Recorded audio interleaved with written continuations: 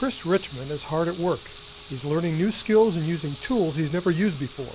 The only thing that I've used in the past is a drill press, and everything else is pretty new. Chris is drilling, grinding, and bending metal to build bike racks through a training program called Metro Metalworks, developed by Lutheran Metropolitan Ministries. We're a faith-based agency serving all people in the community who are uh, forgotten and hurting in society. We particularly work with people who are homeless, um, people who are involved in the criminal justice system, older youth who are at risk, and um, people with disabilities. The program provides jobs for up to five men at a time. In addition to being a viable business, uh, it, it, provides work experience and training to individuals that we serve from across LMM, whether it be reentry individuals, at-risk teens, or individuals who find themselves homeless.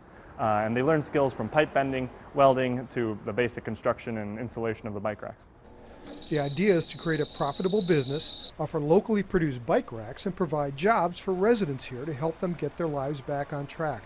They plan to sell up to 300 bike racks this year. Uh, selling bike racks to the general public. Uh, some of our customers have been the Cleveland Clinic uh, and McDonald's, uh, so it's actually uh, really been taking off. We've been surprised by the interest, and we're going to continue to sell them all this summer and into continuing years. I'd say if you're interested in purchasing a locally made bike rack that is theft resistant, of high quality, and helps benefit the community, you can go to our website at www.lutheranmetro.org, and we can actually help install it, so that you don't have to go through the, uh, the paperwork and help you make sure that you're in compliance with city rules and regulations and make it very easy for the customer. The work here is dirty and noisy, but it's a job. And with it comes the satisfaction Chris feels when he sees his bike racks around town. The other day I was traveling out to one of the McDonald's that we had talked about or that we had installed and just being able to see that it's, well, one, still there and two, people are using it make it really exciting actually.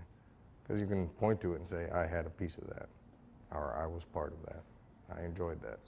Chris is still not sure what lies ahead, but he knows this experience is going to help him get there. My ultimate goal isn't necessarily to be a manufacturer, but once again, it's helping me go get to that point. Chris has been at the shelter for about a year. His job here at Metro Metalworks has not only given him new skills, but a paycheck. And that paycheck could be the turning point for Chris any time now. I'm looking to be on my own or in my own apartment within the next three months. For News Channel 5, this is Brian Archer.